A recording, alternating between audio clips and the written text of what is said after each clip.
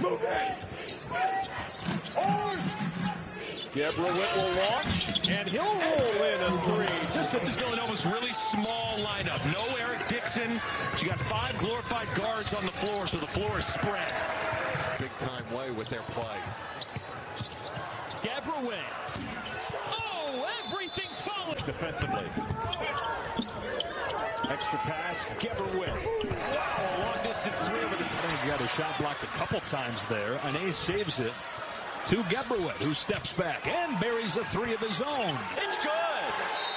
Gebrewhit hits his second three of the second half. And DePaul.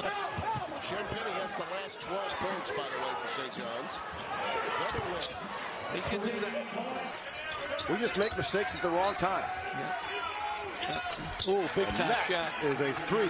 You get a three, a missed free throw, a tip in, and then a steal and a dunk. Something like that. A runner. Selfless player for Travis Steele does everything for you.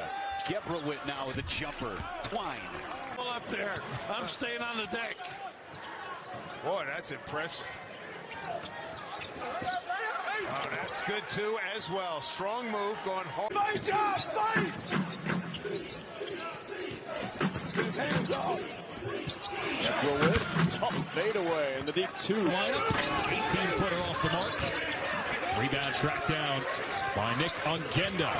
Another three try. Connect. Here comes Jalen Terry with it. DePaul going to launch in transition. It's good. Inside DePaul wants to get up and down. They want to run you out of the gym early. First shot of our game. Philmon Gebrewhit. Yeah, normally you got to be up 50 to pull off that move.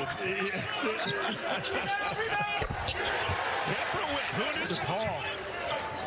Omorio's only played 15 minutes because of foul trouble. When he's on the floor, he's effective. What they had in that first half. What a flurry and what a finish it was. Floater, count it, and a foul.